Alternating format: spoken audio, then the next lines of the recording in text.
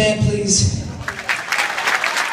Carnegie Orchestra, this great rhythm section, and my great music director, Mr. Tom Schizzano. We'd like to thank you guys for playing for us tonight. It really means a lot to us. This last song we're going to do is a song that we did last time.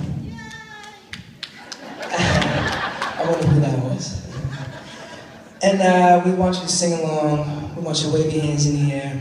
It's a song sung by Neil Sedaka, and it's called Diary.